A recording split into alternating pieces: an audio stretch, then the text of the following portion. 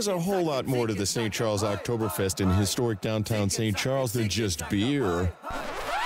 There's shopping and writing, gallerying, antiquing, dining, nightlifing, and sleeping. Get VIP tickets and great hotel packages from Embassy Suites by Hilton, the official hotel of the Oktoberfest. There's more to explore than just beer at the largest Oktoberfest in the Midwest in historic downtown St. Charles, September 28th to the 30th.